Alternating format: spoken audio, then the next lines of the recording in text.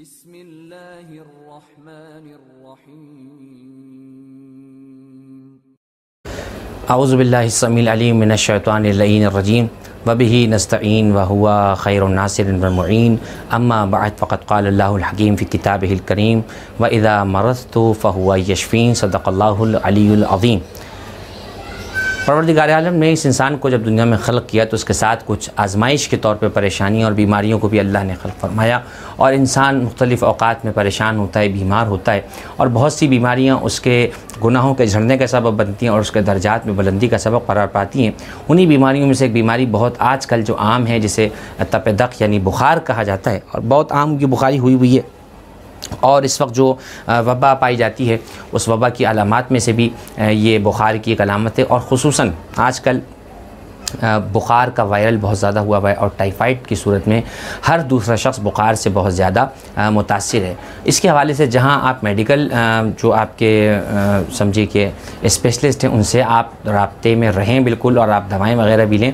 لیکن یہ بات بھی یاد دوا کے ساتھ دعا کا تعلق بہت ضروری ہے اور دعا کے لیے جو علاج ائمہ اہل بیت علیہ السلام نے بتایا، وہی شافی اور کافی، وہی آخر اور حرف آخر ہوگا۔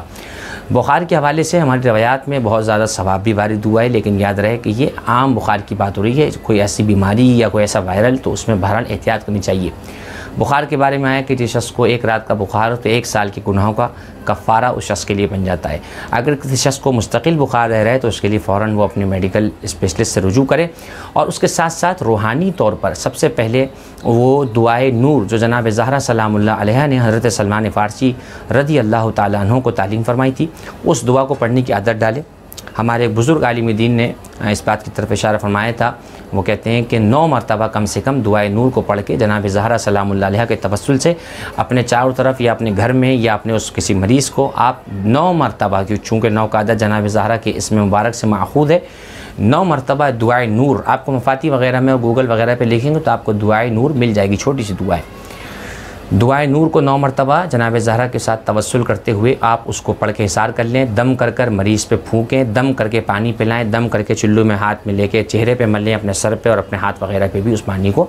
آپ استعمال کر سکتے ہیں۔ اسی کے ساتھ قرآن مجید کی آیت حضرت ابراہیم کے حوالے سے بسم اللہ الرحمن الرحیم وقلنا یا نارکونی بردن و سلامن علی ابراہیم۔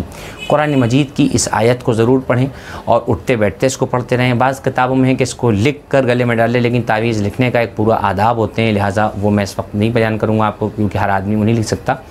اس کو پڑھ لیں اس آیت کو پڑھ کے دم کر لیں، اپنے اوپر پانی بھی پڑھ کے دم کریں۔ ہر نماز فرض کے بعد جو ہے اس دعا کو پڑھ کے اپنے اوپر دم کریں۔ اور صحیفہ سجادیہ میں باقاعدہ ایک دعا کہ جو حضرت شدید پریشانی یا مرض کے دفعیہ کے لیے، یہ لفظ لکھا ہے باقاعدہ صحیفہ کاملہ کی فہرست میں، آپ دیکھیں مرض کے دفعیہ کی دعا، مرض کو دفع کرنے کی دعا۔